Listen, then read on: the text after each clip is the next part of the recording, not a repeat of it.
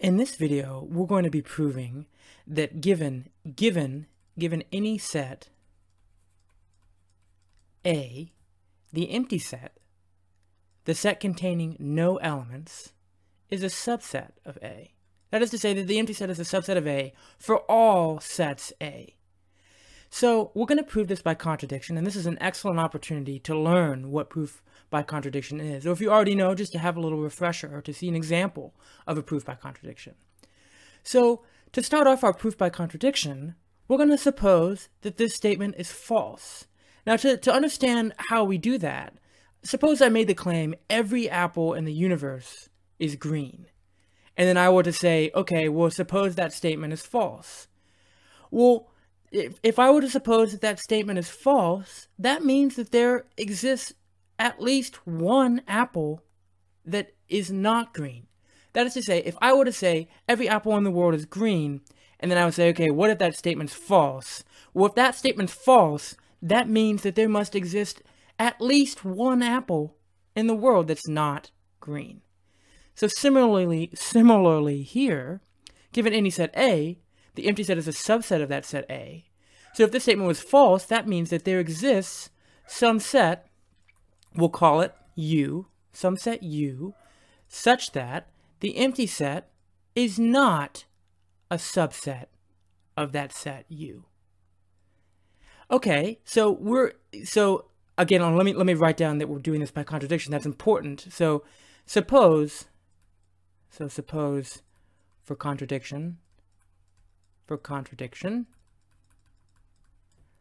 that this statement, that this statement is false. That this statement is false.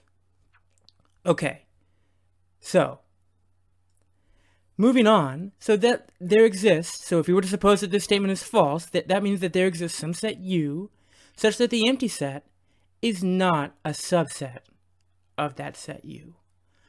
Well, what does this imply? What does it mean for a set to not be a subset of U?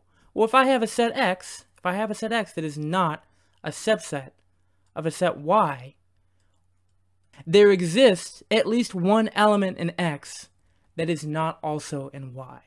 Because if I were to say that an X is a subset of Y, that means that every element in X is also in Y. So for a set X to not be a subset of Y, that means that there exists at least one element in X that is not also in Y. So this implies, so if there exists some set U such that the empty set is not a subset of U, this implies that there exists, there exists an X in the empty set, and you might be seeing where I'm going with this, an X in the empty set such that X is not in U. But look at this. Look at this.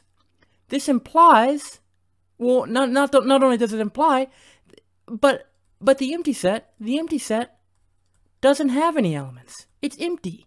Doesn't have any elements. The empty set doesn't have any elements.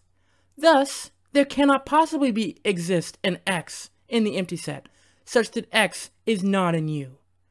Thus, if we were to suppose that this statement is false, if we were to suppose that this statement is false, then we would arrive at a contradiction. This is a contradiction. We, we, we said that there exists an X in the empty set, such that X is not in U. But this is a contradiction. This is a contradiction. Thus, the statement must be true. Remember, a statement can either be true or false, not both. A statement can either be true or false. That's not a that's not a, a trivial uh, trivial statement in itself. so, um, but given any set A, the empty set is a subset of that set A. So, if I were to suppose that this statement is false, then I arrive at a contradictory statement. I arrive at, uh, namely, that there exists an X in the empty set. And this, this right here, is the contradiction. There cannot exist an X in the empty set such that X is not in U. There cannot exist an X in the empty set at all. So, we arrive at a contradiction when we suppose that this statement is false, Therefore, it must be true. Therefore, it must be true. Therefore, the empty set is a subset of A for all sets A.